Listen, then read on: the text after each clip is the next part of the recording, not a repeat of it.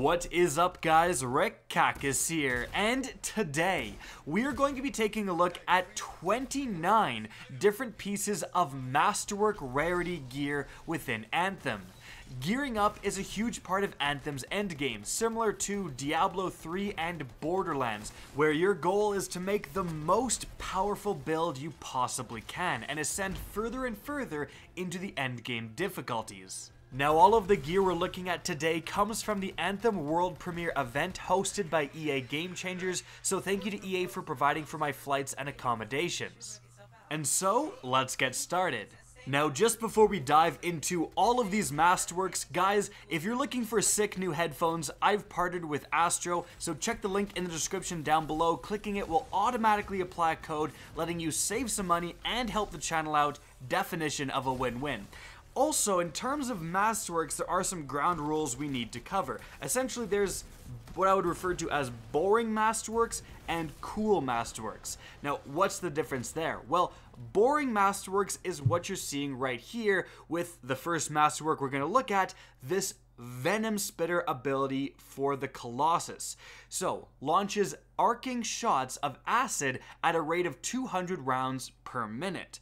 And that's about it. No other special abilities per se, but this is also going to come with four different prefixes, whereas the rarity below Masterwork Epic Purple Loot is going to come with three prefixes. So this one has Weapon plus 20% blast damage, Gear plus 30% damage, Support plus 20% speed, and Marksman's Rifles plus 23% ammunition. Now these prefixes are going to be really important when making your build because we have another Masterwork Venom Spitter, the same exact ability but with four totally different prefixes. This one has LMGs plus 3% damage, LMGs plus 10% damage, ammo plus 6% pickup amount, and repair plus 40% drop rate. So, if you're running an amazing light machine gun, you're to go for the second one every single time. If you're running um, gear that you want to do more damage, you're to go for the first one. So these prefixes are going to be a big part of just having and fine-tuning your build preferences. But like I said, those are boring masterworks. Let's look at a cool one here with another Colossus ability, the Voltaic Dome Masterwork Ordnance Launcher upgraded shock coil, shocks enemies in area of effect, and it's got yellow text. Enemies are frozen once hit. This yellow text gives certain Masterworks unique abilities that are really going to distinguish them from other pieces of loot. We saw with the Venom Launcher, it's just a normal Venom Launcher. An epic purple Venom Launcher is going to do the exact same thing, but the Masterwork version, of course, has another prefix and is more powerful. A purple voltaic dome, however, is not going to freeze enemies. It's just going to electrocute them. And we can see what this masterwork does in-game, and the freezing effect is really, really powerful. And the best part, actually, is with the Colossus, when you slam the ground with your AoE melee, uh, you actually trigger combos. So this is to freeze enemies right near you, and then you slam the ground, and it triggers a combo on all of them nearby. Super powerful. But of course, we also have prefixes with fire plus 3% damage, repair plus 13% amount, sniper plus 13% ammo, and physical plus 75% damage. So that's kind of a wombo combo with itself if physical is melee damage. Now there's actually one rarity above Masterwork, Legendary, and it's going to come with a fifth prefix and potentially you're going to see some yellow text exclusive to Legendaries. But this whole concept of not only are you looking for masterworks with the right prefixes to really complement your build, but those yellow texts, as we're going to see when we go over more masterworks, are insane. They provide massive bonuses, and the build possibilities truly astound me. So let's keep going. The next masterwork we have here is from the same legendary contract reward screen. It's a Hammerhead Masterwork Assault Rifle. Unfortunately, it's a boring one, but greatest striking power but lowest rate of fire in the Assault Rifle class. We've got your Q ability plus 5% speed, the weapon minus 20% recoil to the hip fire, and repair plus 18% drop rate, and pistol plus 23% ammunition. Now, moving on from there, but sticking with the Colossus, we have the best defense Masterwork Heavy Assault Launcher. Upgraded Siege Artillery, combo effect explosive, with the yellow text being hitting an enemy with a rocket restores 35% armor, so huge boost to your survivability when you use this.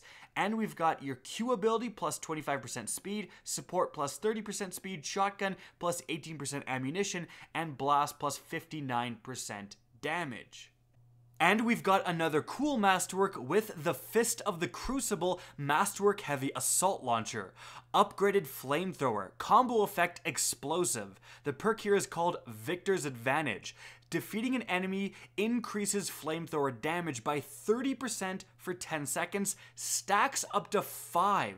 So if you are just mowing down low level ads especially, you're going to get like over 100%, well over 100% increased damage to this flamethrower. Like that seems insanely powerful.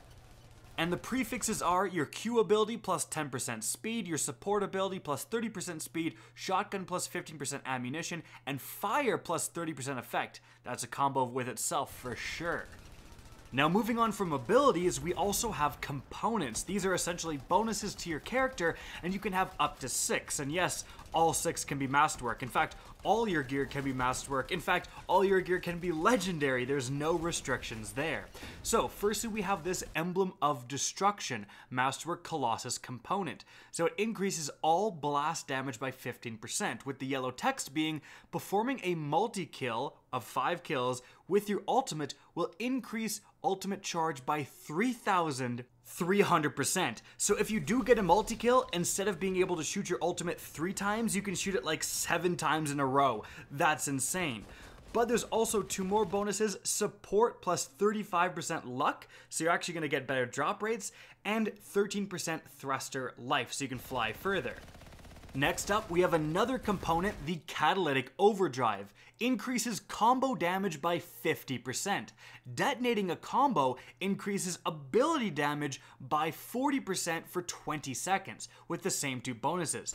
This seems incredibly powerful. It's really easy to detonate a combo, and detonating a combo is a thing you really want to do to get maximum damage. And this is going to also result in your abilities doing more damage? That seems absurd.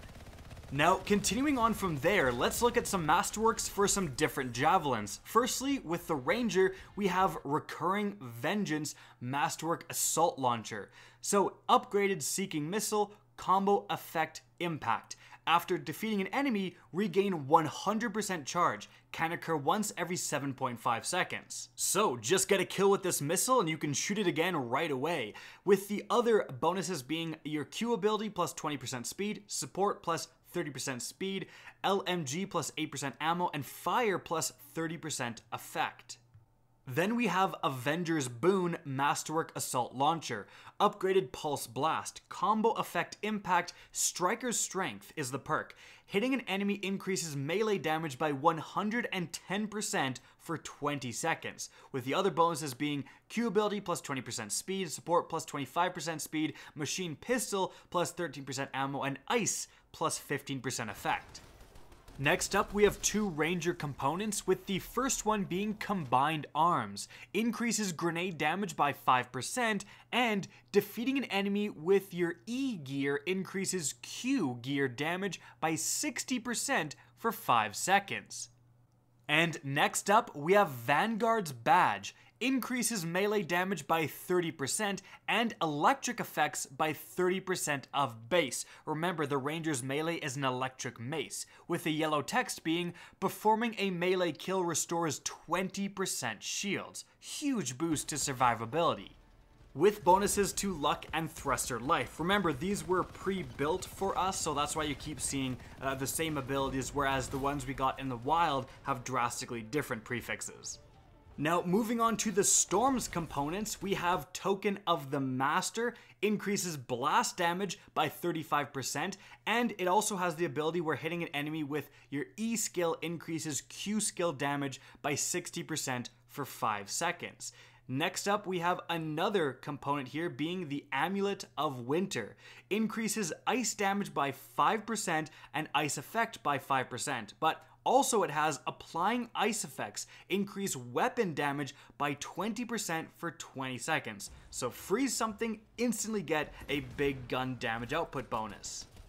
Now moving on to the Storm skills, we have firstly 10,000 Suns, Masterwork Focus Seal, Upgraded Burning Orb, Combo Effect Chain, Striker's Wrath. After hitting an enemy, gain 5% increased damage for 5 seconds, stacks up to 20. So if you're just going off with your fireballs, you're going to be doing an insane amount of damage. The other bonuses are your Q uh, plus 10% speed, plus 40% speed to your support, plus 13% ammo to sniper, and elemental plus 25% damage overall. That last prefix seems very, very desirable. Then we've got the Chaotic Rime Masterwork Focus Seal, upgraded Frost Shards. Fires a stream of target seeking ice shards Winter's Boost. After freezing an enemy, increases your Q slot damage by 125% for 20 seconds. Wow. Then we've got your Q plus 5% speed, support plus 30% speed, sniper plus 13% ammo, and ice plus 35%. That is definitely, that last prefix is definitely what you're looking for for this ability. Next, we have the Interceptor with its components being again Talisman of Power, increases strike system damage by 10%, and any E hit increases Q damage by 50% for 5 seconds. The other Masterwork Interceptor component is Elusive Talisman. Increases weapon damage by 25%, seems good, and dashing three times refills the equipped weapon's magazine.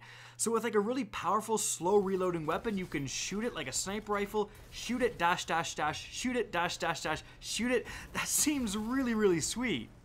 Then we've got two Masterwork abilities. Firstly, Sanadine's Respite Masterwork Strike System, upgraded Plasma Star. Throwing star that melts through armor, hitting an enemy's weak points instantly restores 5% shields.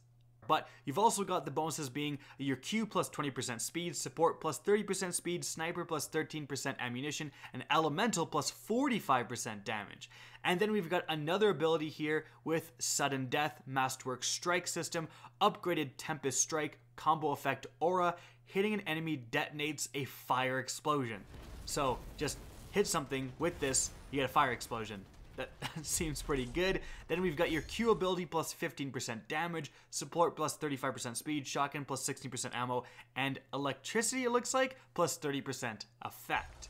Now, all of those masterworks we looked at in the Forge were given to us right off the bat when we switched to our level 30 characters at the world premiere, and now we're just going to go over a bunch of stuff we got in the wild doing stuff. So firstly, we've got this Constrictor Masterwork Shotgun. Hold down trigger and sight, focus more sharply, increasing accuracy. So acid plus 9% damage, your E plus 45% speed, assault rifles plus 10% ammo, and your ammo uh, plus 20% pickup amount.